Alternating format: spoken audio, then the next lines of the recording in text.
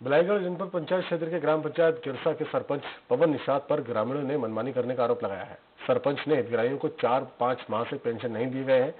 ग्रामीणों ने सरपंच पर यह भी आरोप लगाया है कि सरपंच गाँव में जुआ खिलवा रहे हैं जिससे ग्राम पंचायत गिरसा की स्थिति बहुत खराब हो गई है। पर अधिकारी कुछ कहने पर भी कार्रवाई नहीं करते हैं।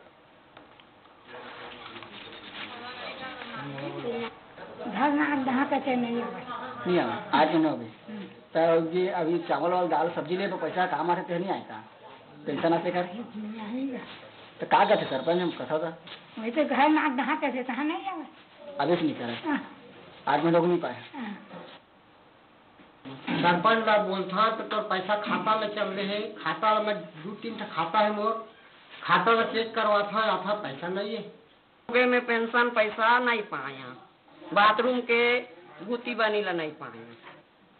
अभी पोस्ट के माध्यम से माननीय कलेक्टर महोदय के पास पोस्ट के माध्यम से गए अनुभवी अधिकारी के पास गए और जनपद सीओ के पास गए